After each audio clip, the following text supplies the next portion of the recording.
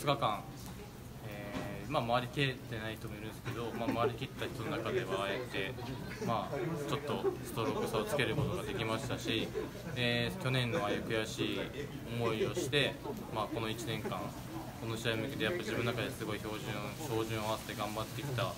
ので、まあ、その結果が出せた部分はあるかあるので、まあ、悔しい気持ちはないです、でまあ、4日間やりたかったですけどやっぱこればっかり天候とかには勝てないんでただまあやれることはやったのかなっていうふうに思います、ね。まあ、今4年生なんでもう今年はあ来年ですね。プロに転向するんで、まあ、それに向けた、えー、と予選会 QT を受けますし、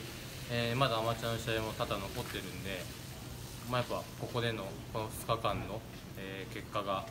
まぐれとは言われないように、まあ、なおさらもっと練習していい結果で、えーアマチュアの試合を全部終えて、まあ、プロとして悔いのないように転向できたらいいなと思います。本当みんなの記憶に残ってくれたら嬉しいです。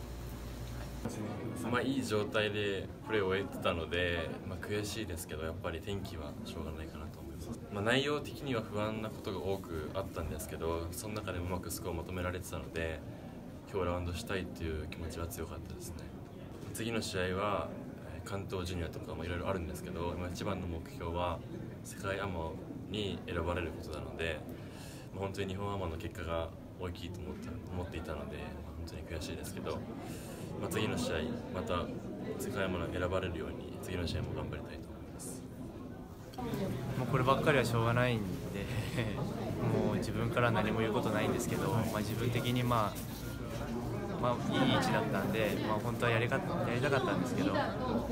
ょうがないです。そうですね、今年大学4年で、えー最後の、まあ、今年プロに、まあ、QT に挑戦するので、まあ、それに向けてしっかり準備していきたいと思います。